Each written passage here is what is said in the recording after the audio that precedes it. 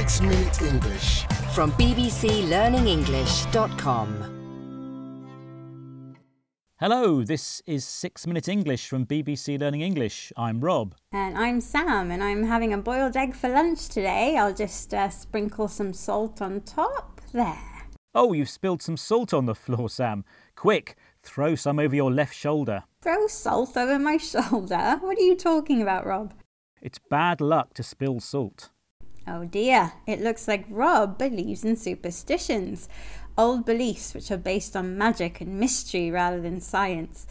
Many superstitions are connected to food, as we'll discover in this programme. Right, like throwing salt over your shoulder to stop bad luck. Oh, come on, Rob. You don't really believe that, do you? well, lots of people do believe food superstitions, including otherwise rational, scientific people. For example, have you ever blown out the candles on a birthday cake and made a wish? Or thrown rice over the bride and groom at a wedding? Yes, to both of those. Maybe I'm more superstitious than I thought. Well, before we find out, it's time for a quiz question about another famous food festival, Halloween. Ah, that's when people carve scary faces into pumpkins to frighten away evil spirits. Yes, right. The tradition of carving pumpkins, or jack o' lanterns as they're called in the United States, started out as a Celtic festival in Ireland, but it was the Americans who started using pumpkins. So, what vegetable did the Irish originally use to scare away ghosts? Was it A. turnips, B. potatoes, or C. squash? I'll say B, potatoes. OK, Sam, we'll find out the right answer later on. What's for sure is that cultures from around the world have been connecting food and magic for thousands of years, and over time it's created some strange beliefs. Here's food historian Tasha Marks describing one unusual superstition to BBC World Service programme, The Food Chain.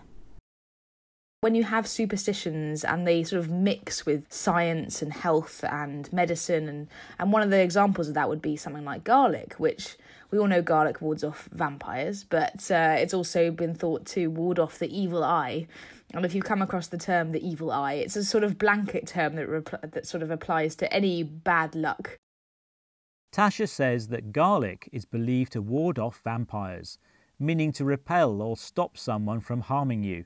According to this superstition, garlic also keeps away the evil eye, bad luck, or magical spells with the power to cause bad things to happen. Tasha describes the evil eye as a blanket term for any bad luck. Just as a real blanket covers the different parts of your body, a blanket term is a phrase that's used to describe many examples of related things. But food superstitions aren't only about bad luck, they also give our lives meaning. Jonty Rajagopalan owns a tourist agency in Hyderabad, India, where she introduces visitors to some of the city's food traditions. Here she's talking with BBC World Service's The Food Chain about a tradition connected with the Hindu New Year. Can you spot the different tastes she mentions? Some of the traditions give you a little bit of a lesson, uh, like on every New Year, and not the first January, not the Gregorian calendar New Year, but the the Hindu calendar New Year. We would always uh, be given a. It's a kind of a chutney which is made of all the five tastes. So you have sour, you have sweet, you have something bitter in it, and your mom would always give it to you, saying that this is what the rest of the year is going to be. You'll have happiness, you'll have challenges, you'll have a little sadness, you'll have bitterness in your life, which I think is a very nice tradition. It prepares you for everything in life. At Hindu New Year, mothers give their children a special chutney, a mixture of fruit, spices, sugar, and vinegar. Did you spot the chutney's flavours, Sam? There was sour, sweet, and bitter. Mothers tell their children that the coming year, like the chutney, will have its own flavours, both good and bad. That's why Jonty says that traditions can teach you a lesson. They show you what you should or shouldn't do in the future as a result of experience. Ah, what a lovely way to end our look at food superstitions.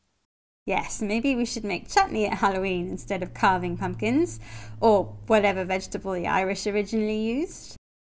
Ah, yes, in my quiz question, I asked you what vegetable was originally used instead of pumpkins to scare away ghosts. I guessed it was B, potatoes. Which was the wrong answer. in fact, turnips were originally used, so maybe Irish ghosts are smaller than American ones.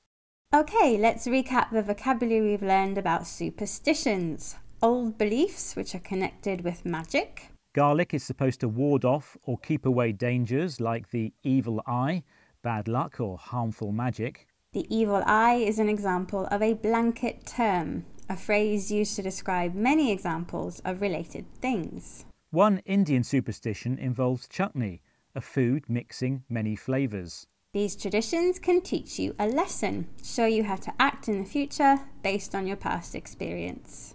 Right, well, that's all for this programme. Good luck with your language learning. And if you've enjoyed this topical discussion and want to learn how to use the vocabulary found in headlines, why not try out our news review podcast? Bye for now. Bye bye. Six Minute English from the BBC.